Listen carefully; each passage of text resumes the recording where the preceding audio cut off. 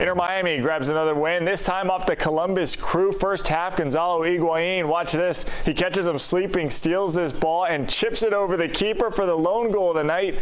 Three points for the Herons. They are making a move up the standings.